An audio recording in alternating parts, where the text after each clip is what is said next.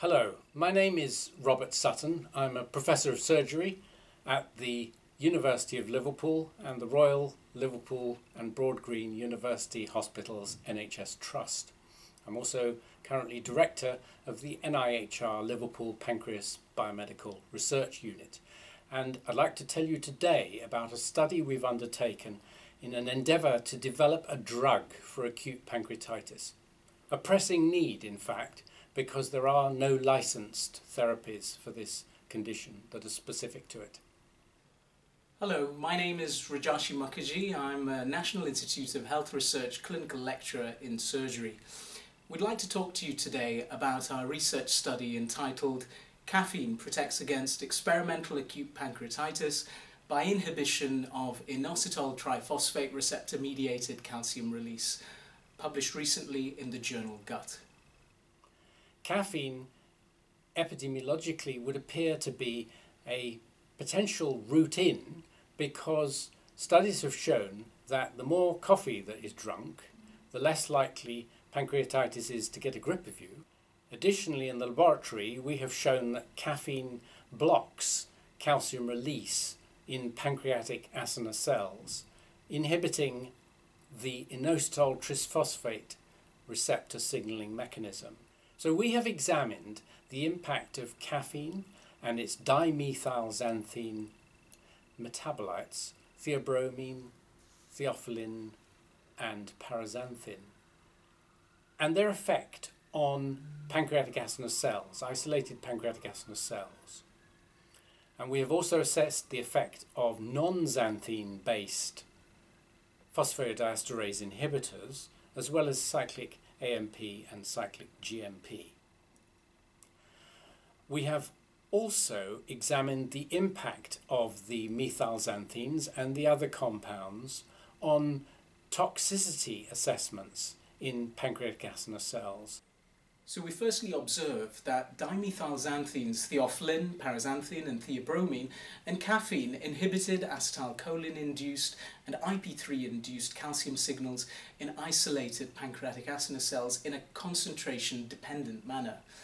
To further investigate whether these effects were due to direct inhibition of IP3 receptor-mediated calcium elevations, a membrane-permeable caged IP3 analogue was loaded into pancreatic acinar cells and we found that repetitive uncaging uh, causing sustained increases of cytosolic calcium were inhibited in a concentration dependent manner by caffeine.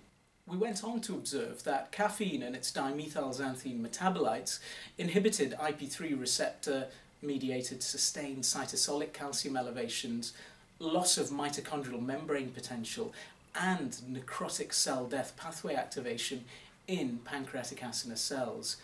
In vivo, it's very important to establish that the levels attained of these potential drugs or actual drugs is at a level commensurate with what we see in vitro. And we certainly demonstrated that the impact of administration of these compounds is to block calcium signaling at quite low levels less than 1 millimolar, and indeed for uh, paraxanthine, most particularly lower than 500 micromolar. So when we measure caffeine and other methylxanthine levels, we find that they are present in the circulation at a concentration that is commensurate with their identifiable effects on inositol trisphosphate receptor mediated calcium release. We carried out an evaluation of caffeine in vivo. We found dose dependent protective effects of caffeine, but not theophylline or paraxanthine, on the severity of cerulein acute pancreatitis at 12 hours, with further protection observed on all pancreatic injury parameters in both mild and severe cerulein acute pancreatitis at 24 hours. Furthermore, we found caffeine displayed protective effects in both bile salt induced and fatty acid ethyl ester induced experimental acute pancreatitis models mimicking gallstone and alcohol human acute pancreatitis.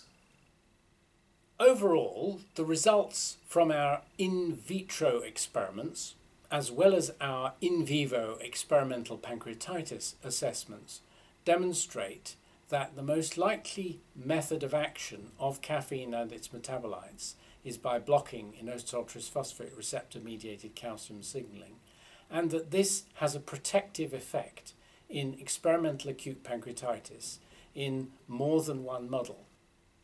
As a potential treatment for human acute pancreatitis, caffeine has limitations because of neurotoxicity, and therefore it provides a medicinal chemistry template from which we can potentially develop new compounds that are more specific and safer. We'd like to thank you very much for listening to our presentation on caffeine and hope that it will be useful in your ongoing endeavours, research, and to be informed about work in acute pancreatitis. Thank you.